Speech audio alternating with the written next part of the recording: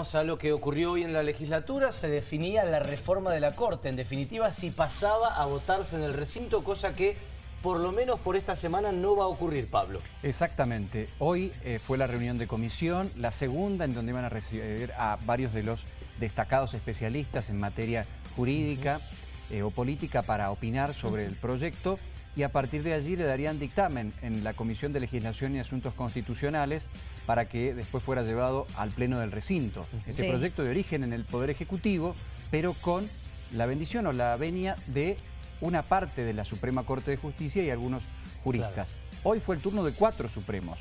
En realidad de tres, porque... En realidad de tres estaban invitados cuatro.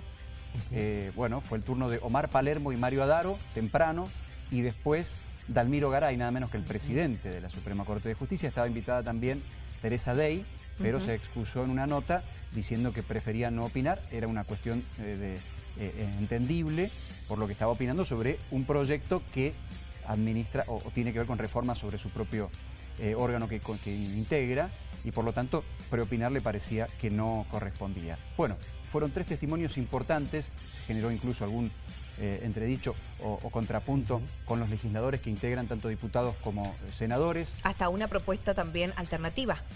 Exactamente. al proyecto ya presentado. Hay una propuesta alternativa que lo que intenta, recordemos, de lo que se trata es de eliminar las dos salas en donde hoy se dirimen eh, causas de distintos fueros y plantear una especie de colegiación y sortear la intervención de los distintos miembros de la Suprema Corte en las causas que llegan al máximo tribunal, incluido el presidente. O sea que intervengan los siete miembros. Hoy vos llegás y te puede tocar cualquiera de las tres posibilidades de salas, ¿no es cierto? Administrativa, la sala 1 y la sala 2.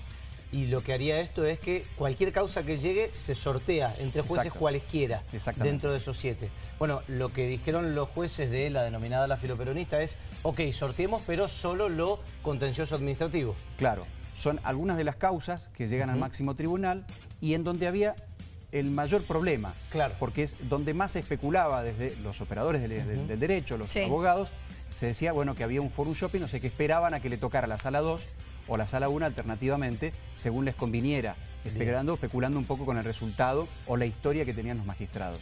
Bueno, esas causas, la idea era eh, que eh, a partir de ahora se dispusiera el sorteo de todos los miembros, pero específicamente en esas causas contenciosas administrativas para eh, tomarla de alguna manera como de manera experimental y después extenderlo al resto de las causas. Esa fue la propuesta que llevaron Omar Palermo y Mario Adal. Están. Los tenemos en los jueces. Escuchamos primero a Palermo y seguidamente a Dalmiro Garay, el presidente del tribunal, que también expresó su postura en algunos puntos eh, coincidiendo con los otros jueces y en otros con ciertas puntas, o mejor dicho, ciertos elementos divergentes, ¿verdad? Sí, sí. El proyecto afecta, como lo ha dicho la doctora Kamel Maher, como lo ha dicho el doctor Pérez Walde, afecta la independencia del Poder Judicial. Afectar la independencia del Poder Judicial es afectar la división de poderes, afectar la división de poderes es afectar la República, el Estado de Derecho, y por esa razón es un proyecto de esas características. Yo en lo personal considero que es antidemocrático. ¿Está en desacuerdo con todo o en qué estaría de acuerdo y en qué no?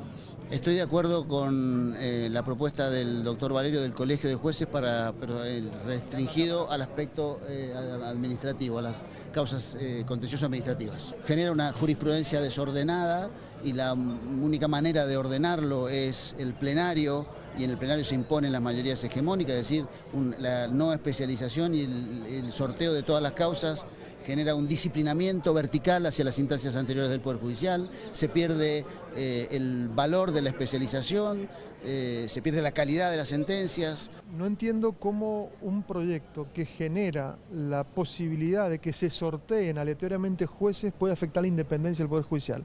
La independencia del Poder Judicial la construye cada magistrado todos los días con sus sentencias. Se ha dicho que hay un gobierno de plenos o plenarios. Yo he demostrado con números, es decir, con datos, que desde el 2016 a esta parte, sobre 13.000 causas ingresadas, el 0,24% se resuelto en pleno, es decir, 13 casos y de esos 13 casos son los casos más importantes que ha resuelto la provincia eh, en su momento. Y de esos, 13, de esos 13 temas, solamente dos han ido 4 a 3, como se plantea, la mayoría es minoría. Es decir, no hay mayoría automática. Primero, para ser miembro de la Corte no hace falta ser especialista en una materia. Solamente leer la Constitución uno se da cuenta de eso. hay que ser abogado, el constituyente lo previó así. Nunca previó la especialización como un derecho justiciable. Bien. Bueno, ahí algunos aspectos que defienden y critican alternativamente. En el caso de ellos, dos supremos en ejercicio. Mar Palermo está señalado como de una de las alas, eh, filoperonista más bien, y Dalmiro Garay está considerado filoradical, que hoy preside la Corte. Esos son los sesgos políticos que, de los que nadie se quiere hacer cargo, digamos, en la discusión en la mesa legislativa. Del lado político también opinaron. ¿eh? Los legisladores escucharon atentamente a los supremos que fueron a explicar cuáles serán sus posturas sobre el proyecto de reforma y también vinieron críticas desde el justicialismo que plantean que el gobierno con este proyecto quiere manejar la Corte y desde eh, el oficialismo, el caso de Martín Kirchner, defendió el proyecto y algunos de sus valores, sobre todo en transparentar el sistema y dar un paso adelante en un sistema que ya lleva más de 20 años. Todos coincidimos en que hay que eliminar el sistema de, en donde una persona puede elegir a qué sala tiene que caer una causa, lo que se denomina forum shopping. Pero también todos coincidieron, y todos los expositores, en que la manera de eliminar eso es habilitar un sorteo en salas o habilitar el sorteo que propone el gobierno solo en el área contencioso administrativo. Lo segundo que quedó en claro es que si el planteo es que eso hay que hacerlo para todo, no hay ninguna duda que hay un intento de cooptación del Poder Judicial por parte del gobierno de Mendoza. Ojalá que se escuche, ojalá que el planteo que hicieron los jueces hoy sea que este proyecto vuelva al seno de donde nunca debió haber salido, que es el seno de la Corte, que se pongan de acuerdo los miembros de la Corte sobre cómo va a ser el funcionamiento del Poder Judicial y que podamos llegar a un consenso que es que todos queremos que haya una justicia ágil, rápida y, e independiente. Están todos de acuerdo en la necesidad de sorteo para la eh, mayoría de las, de las causas que tienen que ver con todo lo que es inconstitucional o las acciones contenciosas que son, para que la gente entienda, los conflictos de poderes que muchas veces hacen que al estar más en una, en una, en una sala demoran tres años y medio, en la sala dos, al tener menos causa, demoran menos tiempo. El juez de la Corte tiene que ser un especialista, pero principalmente tiene que conocer todo el derecho y aplicar el derecho, porque generalmente son jueces de, juicios, ¿no? No son jueces de primera instancia.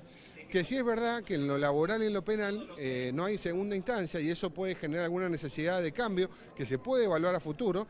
Bueno, hay que, estamos abiertos a evaluarla porque todo lo que sea mejora es mejora y han reconocido que el funcionamiento de la justicia de los últimos seis años ha ido mejorando e incorporando nuevos elementos que han hecho que la justicia sea mucho más rápida, pero que hay distorsiones.